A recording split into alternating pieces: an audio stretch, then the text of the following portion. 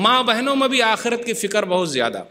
यह आखिरी बात है, सही बुखारी किताब रक़ा किताब नंबर इक्यासी, हदीस नंबर छः हज़ार पाँच सौ सत्ताईस।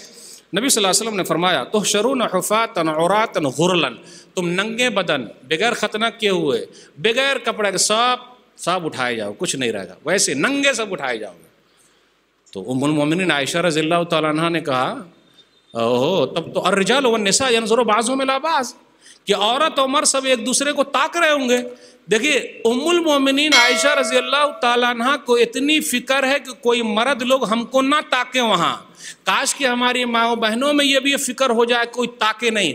आजकल तो तकवाने के लिए जाती है कि कोई हमको ताके। माइल कर रही है, माइल हो रही है, मसाइल है, कोई हमको देखे। और अल्लाह वाली औरत यह है कि वो घबराती है, कोई हमको ना देखे। कितनी फ़िक्र है आखिरत की। तो नबी सल्लल्लाहु अलैहि वसल्लम ने फरमाया, अलअमर अशद अयुहिमजाक आयशा, वहाँ मामला बड़ा सख्त होगा।